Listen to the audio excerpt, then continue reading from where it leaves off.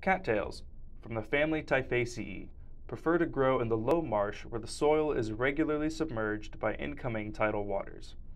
Cattails are often easily identified by the large, fuzzy, brown tail-like or hot dog shape that sits high above the rest of the plant.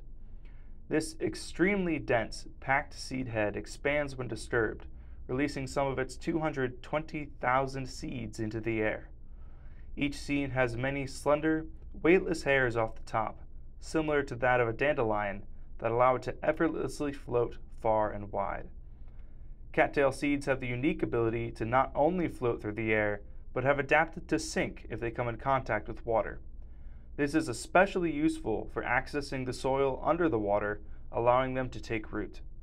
They survive being submerged underwater for long periods of time due to the hollow, straw like structures that have been adapted to pump fresh air from the stems above the water down to the aquatic roots below, where oxygen is otherwise not accessible.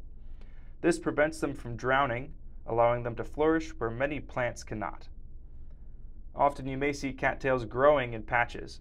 This is often not because of their seed dispersion, but by asexually cloning themselves, spreading by underground shoots called rhizomes. These rhizomes grow in the springtime, crawling around and shooting out roots every couple of inches. Even if the rhizomes are later cut off, the new roots will continue to grow into its own fully developed cattail.